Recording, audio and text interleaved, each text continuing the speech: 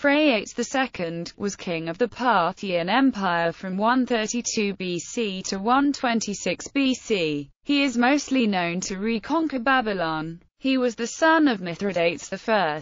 Because he was still very young when he came to the throne, his mother Rinnu ruled on his behalf at first. War with the Seleucids In 130 BC the Parthian Empire was attacked from the west. Antiochus VII's Psammetichus, ruler of the Seleucid Empire attacked in the west to reconquer territory lost earlier. After three battles he reclaimed Babylonia and Media. After this he offered a peace by which he would regain Mesopotamia and large parts of Iran. The Parthian realm would be restricted to its core territories and would pay a heavy tribute.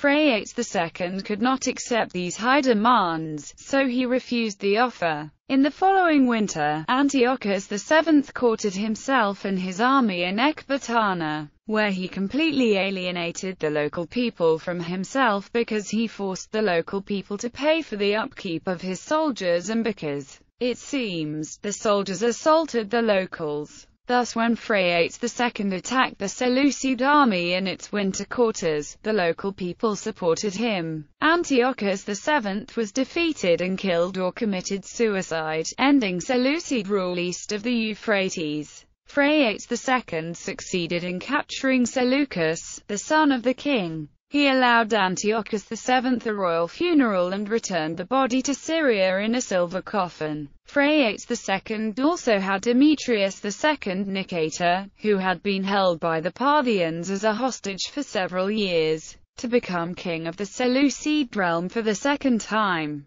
Through this the Parthian king hoped to gain more influence in Syria. Phraates II even married one of the king's daughters, whose name is not recorded. War in the East and death. Syria, which was now the Seleucid rump state, lacked military power and Phraates II apparently planned to invade it. But on the eastern front, the nomadic Saka and Tochari destroyed the Greco-Bactrian kingdom, penetrated to the borders of the realm in 129 BCE, and threatened the Parthians' kingdom. The king had to rush to the eastern front, installing Himeros as governor of Babylon, who quickly became a tyrant. Phraates II marched east, his army including a large force of captured Seleucid soldiers from the army of the late Antiochus VII's Psammetichus. These ultimately refused to fight for the Parthian king, and he was defeated and killed in battle. Traditionally, it is assumed that Phraates' uncle, Artabanus I succeeded him as king. However, cuneiform and numismatic evidence suggests that his older uncle, Bagasis,